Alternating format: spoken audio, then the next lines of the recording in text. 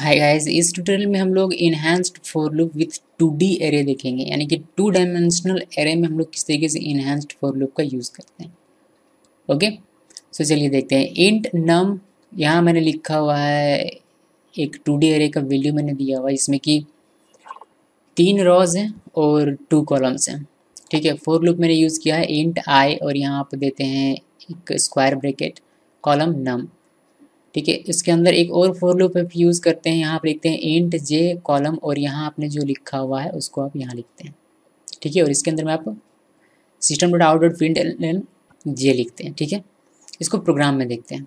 सो so, ये पुराना तरीका है हमारा प्रिंट करने का जिसमें आप इंट आई इक्वल ज़ीरो इसमें रॉ का लेंथ आई प्लस प्लस फिर इसके अंदर एक और फोर लूप यानी कि नेस्टेड फोर लूप यूज़ कर रहे हैं J zero zero sorry J equal zero J less than column का नंबर या फिर कॉलम का साइज़ जे प्लस प्लस और इसके अंदर आप प्रिंट करते हैं। इससे भी आपको आउटपुट आपका मिलेगा। ओके इसको जब आप रन करते हैं तो इससे भी आपका आउटपुट आपको मिल जाता है, ठीक है? बट हमारे पास एक इन्हेंस्ड फॉर लूप है, जिससे कि आप इसको और इजी वे में कर सकते हैं। तो उसके लिए हम लोग क्या करते हैं? हम लोग फोर लूप यूज़ करते हैं। फोर लूप में आपको लिखना है इंट आई कॉलम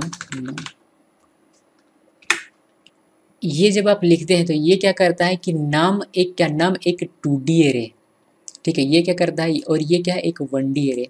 तो ये क्या करता है? आई ये जो आपने एक, ये क्या है? एक्चुअली ये एक वन डी एरे। तो ये इसके इस फ़र्स्ट रो को स्कैन कर लेता है।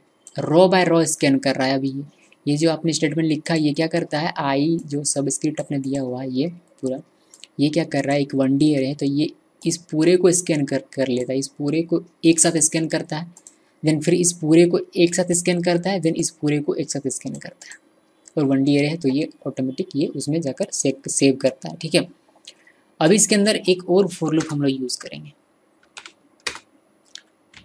और यहाँ हम लोग लिखेंगे इन जे आई और इस फोर लूप के अंदर हम लोग लिखेंगे system dot out dot print ln not print ln it's print. Then आप यहाँ लिखते हैं जे और यहाँ हमें हमें देना चाहिए प्लस और थोड़ा सा स्पेस और यहाँ एक न्यू लाइन मैं फॉर्मेट कर रहा हूँ, ठीक है? आउटपुट वैसे भी मिल जाएगा बट इसको फॉर्मेट करिए जैसे कि हमें मैट्रिक के फॉर्म में मैट्रिक्स के फॉर्म में हमें दिखाई दे। प्रिंट एलन ओके सो देखिए, यहाँ क्या होता है? ये पूरा फोर लुप समझिए, ठीक है? इन्हांस्ड फोर लुप ये पूरा फोर लुप समझिए। सबसे पहले मैंने आपको बताया कि ये चूँकि वन डी एयर है तो ये क्या करता है? इसके पूरे एक रॉ को स्कैन करता है, फिर इसके एक पूरे रॉ को स्कैन करता है, फिर ये इसके पूरे रॉ को स्कैन करता है। समझ लीजिए कि ये तीनों रॉ को ये इसने स्कैन कर लिया, ठीक है? अभी हमने इसके अंदर एक फोर लुप का यूज़ किया जिसमें कि जे आई लिखा हुआ है। अपने वन डी एरिया में दिखा हुआ कि हमने ऐसा ही कुछ लिखा हुआ था। तो ये क्या करता है कि जे अब इसके अंदर के एलिमेंट्स को सर्च कर रहा है।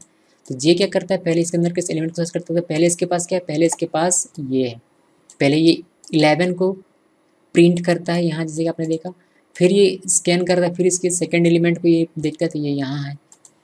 ओके फिर ये इसको स्कैन करता है। इसके पास क्या है? इसके पास सेट बाय सेट है। ये एक सेट है, ये एक सेट है और ये एक सेट है। तो ये इसी तरीके इसी तरीके से ये जे जो है, इसके अंदर जाता है और एक एक एलिमेंट को स्कैन करता है। और हमें प्रिंट करके दिखाता है। ठीक है सो इसको भी अगर आप रन करते हैं आई होप कि ये समझ में आ गया होगा ये क्या पूरा प्रोसेस हो रहा है। अगर नहीं तो आप कमेंट के थ्रू मुझे पूछ सकते हैं। बट इसमें ज़्यादा कुछ क्रिटिकल चीज़ें हैं नहीं, कुछ डिफ़िकल्ट है नहीं। इसको रन करते हैं और देखते हैं आउटपुट रन किया मैंने, आपका आउटपुट वही दिखाई दे रहा है। बस इस तरीके से आप इन्हेंस्ड फॉर का टू डी एरे में यूज़ कर सकते हैं। Thanks for watching this video